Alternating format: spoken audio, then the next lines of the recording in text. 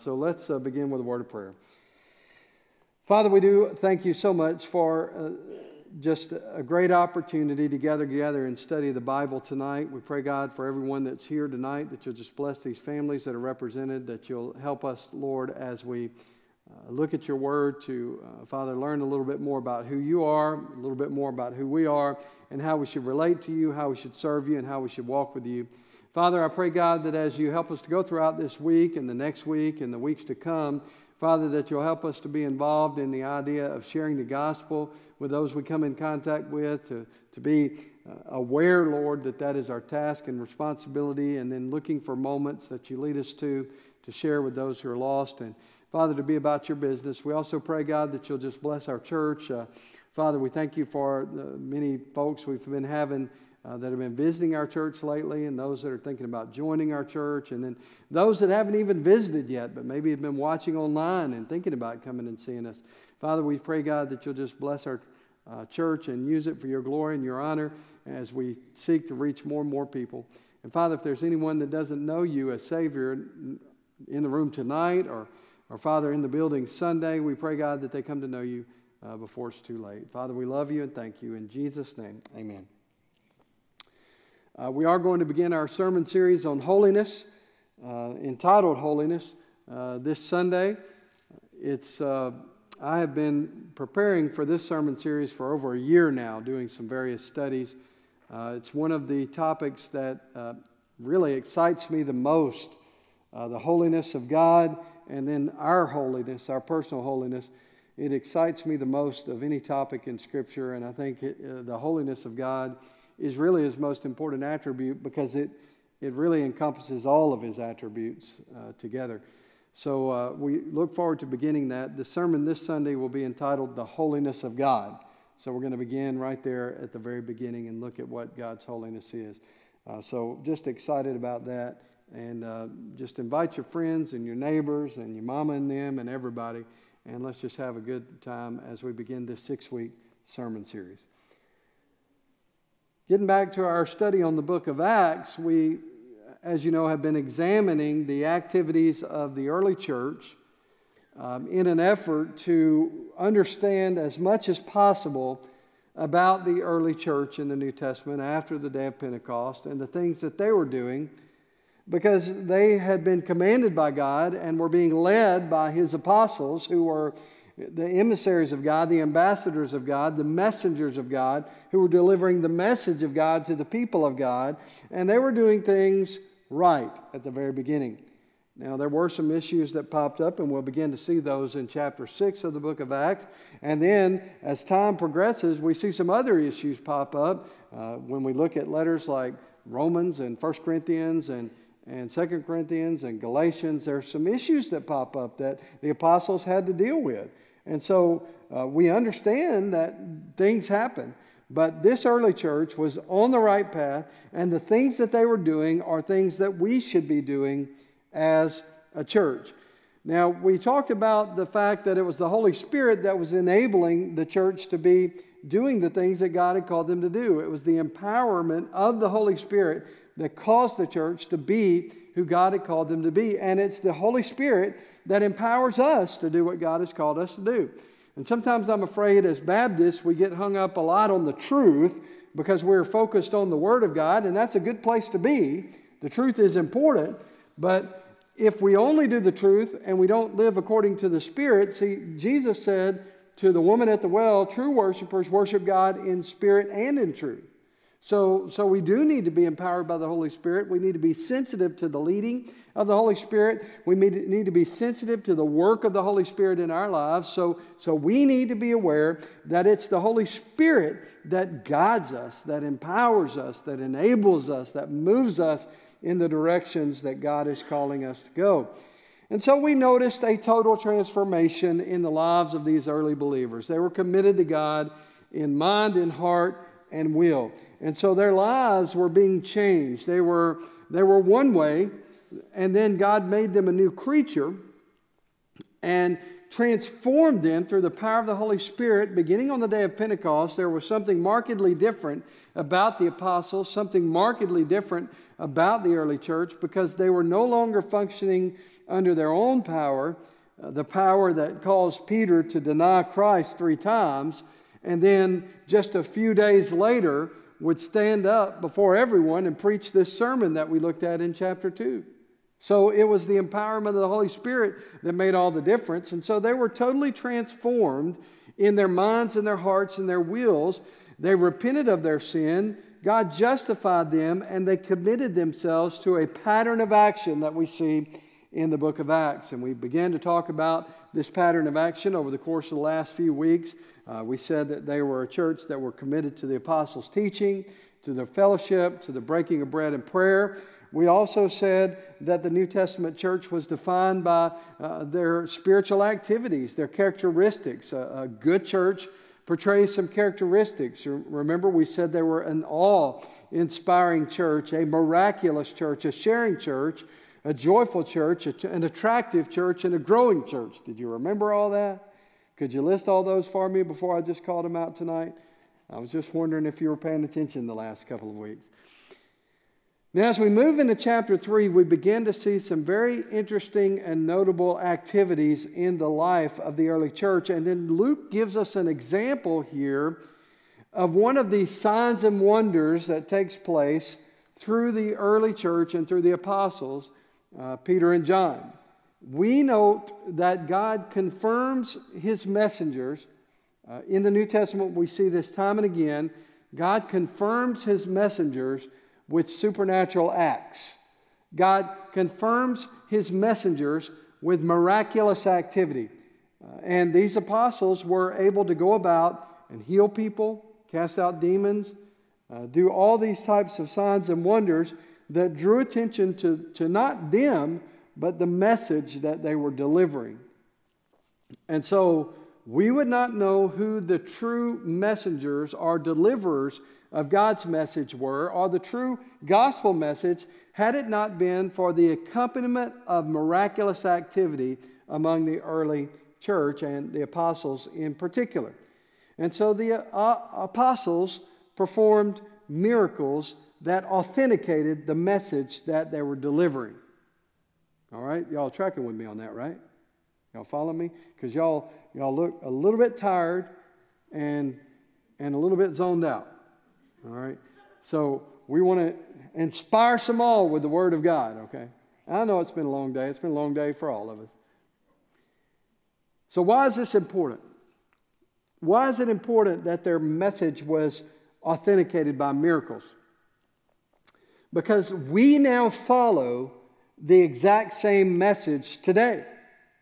The message of the gospel has endured hundreds and thousands of years to come to us today because it was delivered authoritatively through the apostles and confirmed by these signs. So let's look at this miracle in chapter 3. Acts chapter 3, we'll read verse 1 to 10. Now, Peter and John were going up to the temple at the hour of prayer, the ninth hour. And a man lame from birth was being carried whom they laid daily at the gate of the temple that is called the Beautiful Gate, to ask alms of those entering the temple. Seeing Peter and John about to go into the temple, he asked to receive alms. And Peter directed his gaze at him, as did John, and said, Look at us. And he fixed his attention on them, expecting to receive something from them. But Peter said, I have no silver and gold, but what I do have I give to you. In the name of Jesus Christ of Nazareth, rise up and walk. And he took him by the right hand and raised him up, and immediately his feet and ankles were made strong. And leaping, he stood and began to walk and entered the temple with them, walking and leaping and praising God. And all the people saw him walking and praising God and recognized him as the one who sat at the beautiful gate of the temple asking for alms. And they were filled with wonder and amazement at what had happened to him. The astounding miracle gathered a curious crowd, and that prepares them to hear the gospel. They are going to hear the gospel momentarily. Now, we'll look at that next week. But it also served to confirm that Peter and John were worth listening to. These people have some authority because look what they can do. They can take this man that you all know, that you all recognize, that you've all seen, that you've probably all given some money to. They take this man, and now he's walking and leaping and praising God. So let's look at the situation. You remember the song I sang about this particular miracle, right? You remember it? Peter and John went to pray. They met a lame man on the way. Y'all remember that? It's the one we heard when we were kids in school, uh, in, in Sunday school, and apparently nobody knew it around these parts.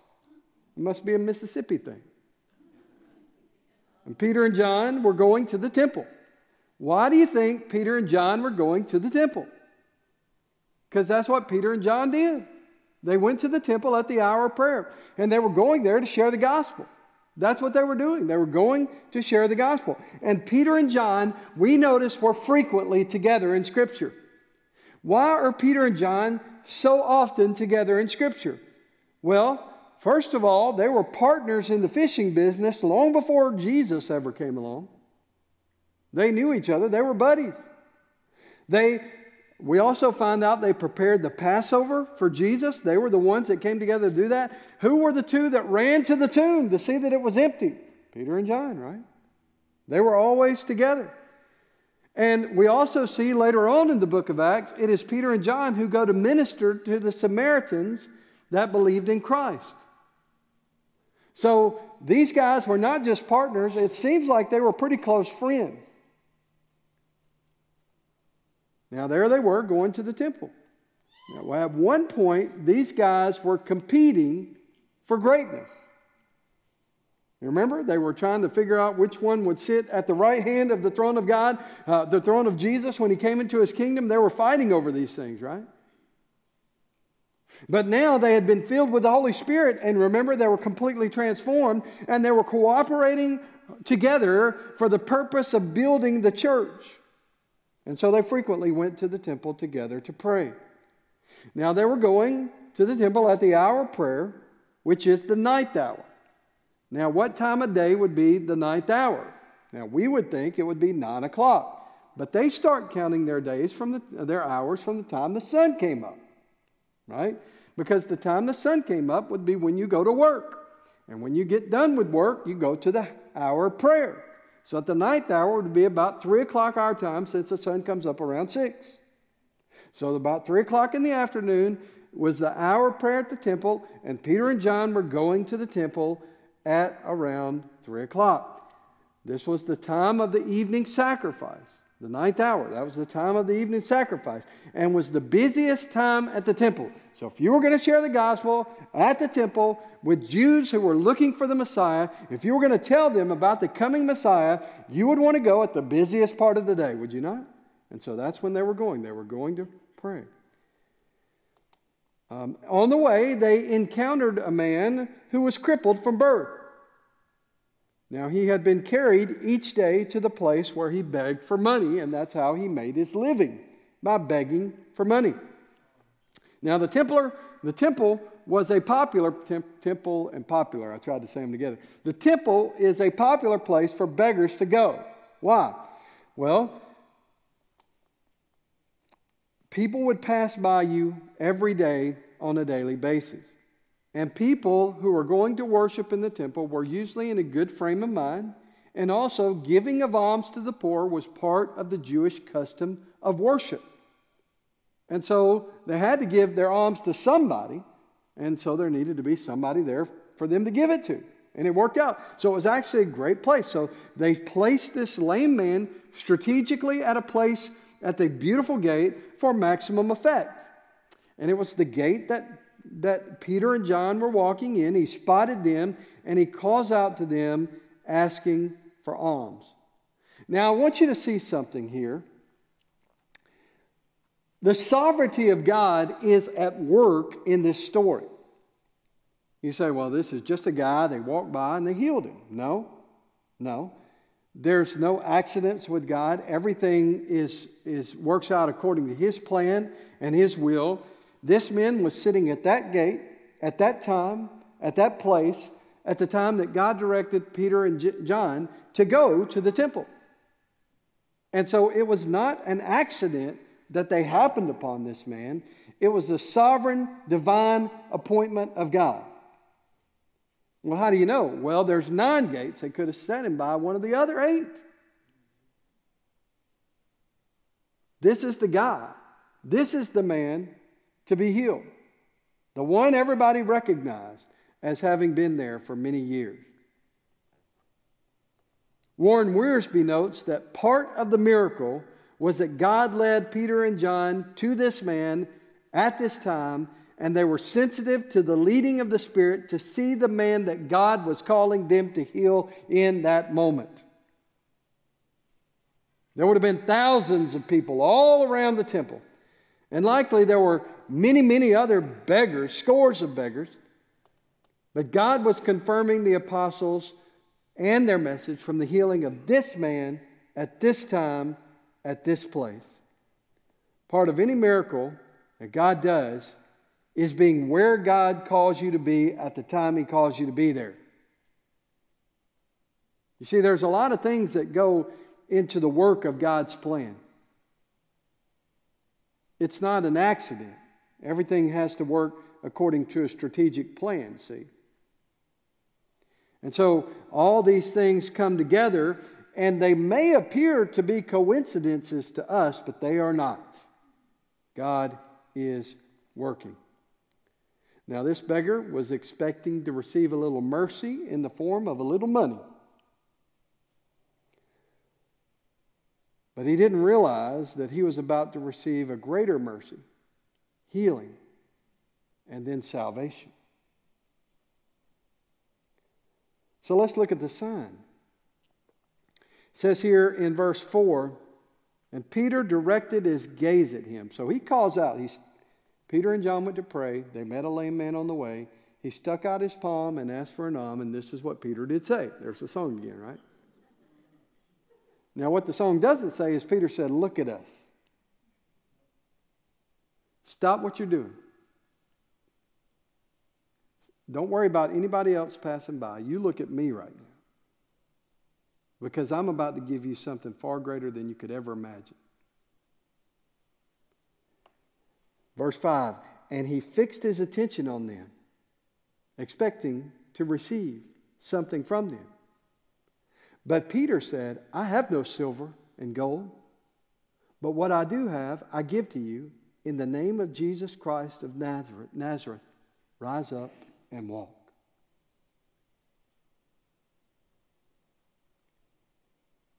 And he took him by the right hand and raised him up. And immediately his feet and ankles were made strong. And leaping up, he stood and began to walk and entered the temple with them, walking and leaping and praising God. So look at us, he said. Peter must have instantly crushed this man's spirit when he says, I don't have any silver or gold. I got nothing. But then, when he took him by his hand, he went from a crushed spirit to exuberant praise. I don't have silver or gold. I have something much better. Get up. You won't have to be carried anymore. Get up. This miracle displays four characteristics that are worth noting. Number one, it was unexpected. When the apostles fixed their gaze on the beggar and commanded him to look at them, he expected to receive money. They had no money, they had something greatly more valuable. The beggar must have wondered what can be more valuable than money? I mean, a man's got to eat. What can be more valuable than money?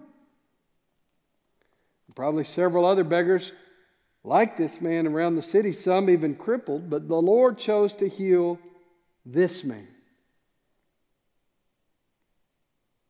And he received something unexpected healing, but then he received something far greater than he ever dreamed a relationship with God. So it was unexpected. Secondly, it was done in the name of Jesus Christ. The man must have been perplexed at the mention of the name of Jesus Christ. You know, think about him processing all this information. I don't have silver or gold, but I do have something for you. In the name of Jesus Christ of Nazareth, rise up and walk. Wait a minute, the guy they murdered on the tree? You know, I remember hearing about all that, and I remember they released Barabbas and they took him to the tree. That guy, is that the guy you're talking about? And perhaps this man had not yet benefited at all from Jesus' ministry, and yet they were going to heal him in the name of Jesus. Now, I do want to say one thing about the name of Jesus because it's kind of become this mantra in the charismatic movement to do this and that in the name of Jesus Christ. It's important that we know that whenever you are doing something in the name of Jesus Christ, it is under his authority, but you can only do something in the name of Jesus Christ that is in direct alignment with his will.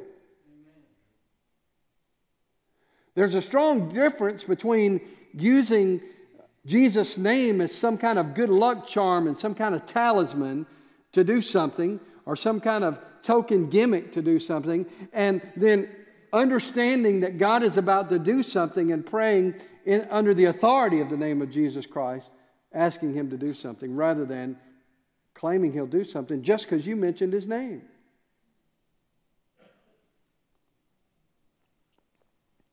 They were acting under the authority of Jesus, and Jesus had delegated the apostles with his power through the gift of healing. And they had the gift of healing, and they were using it right then and there. And in the name of Jesus Christ, they commanded this man to rise up and walk. And they were in tune with the will of God. The Lord led them to that place. The Lord led uh, Peter to look at this man and say, Look at us. And the Lord led him to say, Get up and walk. And the Lord led him to reach down and grab him by the hand and pick him up to walk.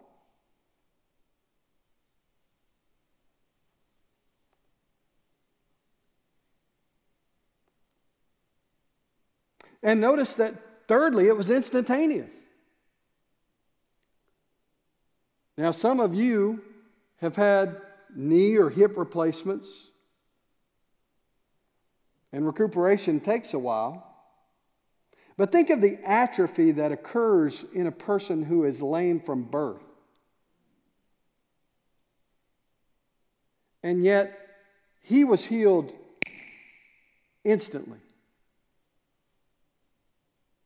The strength returned to his legs instantly. Reminds me of a story. There was a this man that came up to one of those faith healers. They were having this big tent revival, and there was this faith healer out there. And he got in line to be prayed for, and he got up to the platform, and the guy brought him up on stage and said, What do you want me to pray for? He said, My hearing. He said, Your hearing? Yeah.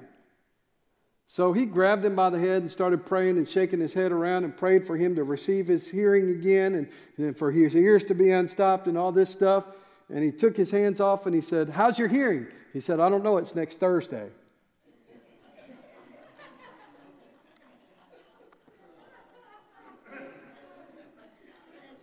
um, I don't. I just thought of that right now. I, remember that from a while back. But the healing of Jesus is instantaneous. The healing in the name of Jesus is instantaneous. It happens. You know, when he raises somebody from the dead, they were dead, now they're, they're not dead. When he, when he gives them back their, their ability to walk, they can't walk and then they can walk. They're blind and now they can see. We're dead spiritually, and now we're alive spiritually. That's the miracle of Jesus Christ. So it was instantaneous. And notice lastly that it was complete. As soon as the beggar felt strength in his legs, he didn't just start walking. He was walking and leaping and praising God, walking and leaping and praising God in the name of Jesus Christ of Nazareth. Rise up and walk. He was leaping. You know? Skip, I bet you're about ready to start running and leaping, huh? Yeah. Instantaneous healing. So unbelievable that this man couldn't resist the opportunity to skip through the temple like a little school child. I mean, picture that. And think of the spectacle. Look at that guy in the tattered rags. He was just sitting out there by the temple for the last 20 years.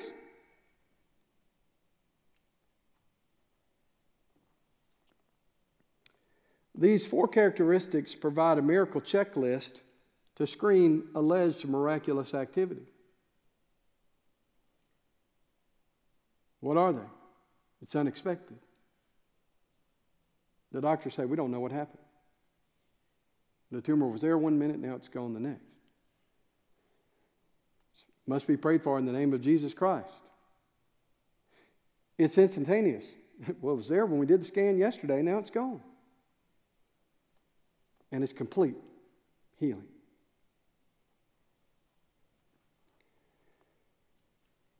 This is a healing that fits the true biblical pattern, and it stems from God's choice, sovereign choice. And it will be done in such a way that it is to glorify the name of Jesus Christ. What happened? What was the response? Look back at verses 8, 8 and 10, 8 to 10. And when the people saw him walking and praising God, and recognized him as the one who sat at the beautiful gate of the temple asking for alms, they were filled with wonder and amazement at what had happened to him. And while he, look at verse 11, and while he clung to Peter and John, all the people, utterly astounded, ran together to them in the portico called Solomon's. Oh, Look at all these people gathered around. It's time for a sermon. So, see, it was done in a way that glorified God. What were the results of this miracle? Four, uh, not four, these are mentioned. First, joy. The beggar expressed great joy over his healing. He showed joy through praise, the ritual of the evening sacrifice was interrupted by cries of excitement and joy at what God had done for him. There was genuine worship and praise from this man. Worship, true worship, is genuine that comes from the heart. Just being at a church service does not constitute true worship. Just singing half a worship song does not constitute true worship. True worship is when our heart's devotion and our mind's attention are focused on God. And notice I said heart's devotion. It's not just emotion, it's not just uh, uh, going through the motions, it's not just emotion, it's not just uh, ritual or ceremony. True worship is when we're devoted to the Lord and what we're singing and what we're saying and how we're living, worship is all of that, is focused on the Lord. And so there was joy, there was praise, and then thirdly, there was witness. The beggar's healing caused a scene. And immediately the folks were gathered together because they recognized this as the beggar that was by the gate. And so this miracle was a witness and a testimony to the Lord and his messengers and the message that they had been delivering and were about to deliver again. And the miracle prepared a way for a sermon that was preached by Peter in the next several verses. So, what does all this mean for us today? Well, it means, first, that God has confirmed the message that we now preach through miraculous works. We are not fearful that the gospel message is the wrong message. We have the truth, God gave it to us, and He confirmed His messengers through which He passed it down. Second, God is still doing miraculous things today. One of the most important miraculous things that God does is salvation. Like this man's healing, salvation is unexpected. I've heard many stories about folks who are saved at this particular meeting or that particular meeting or when they encounter this particular person, and they weren't expecting to be saved that day. They weren't even looking for it.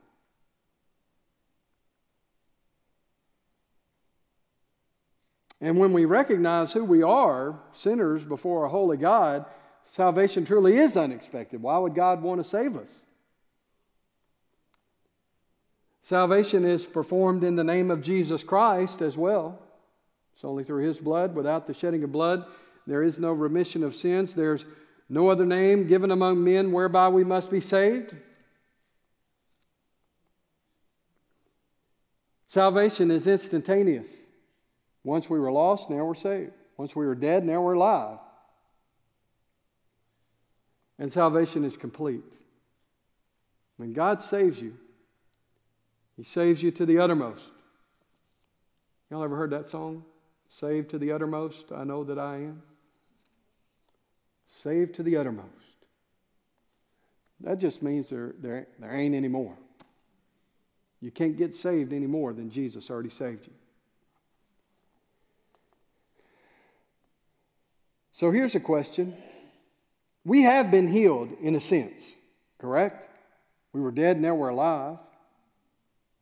We were lost, now we're found.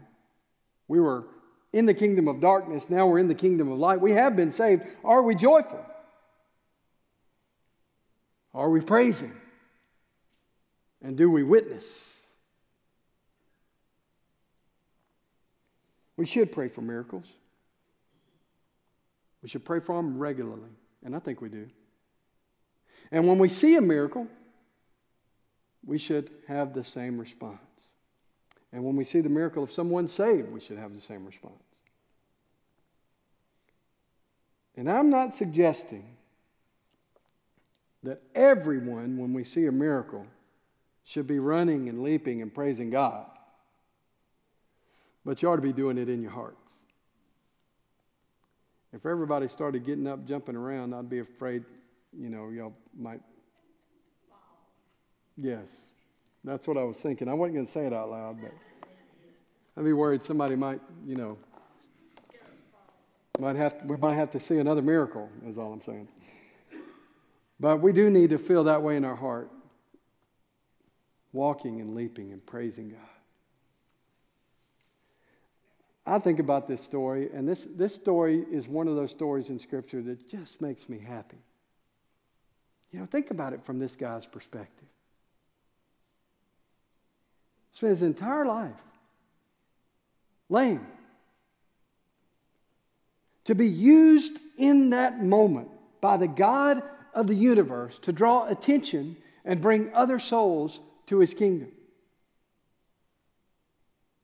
It reminds me of, uh, I think it's John chapter 9, where the blind man is healed. And Jesus says, uh, he's walking along with his disciples, and they say, Jesus, what, who sinned, this man or his parents, that he was born, you know, blind? He was blind.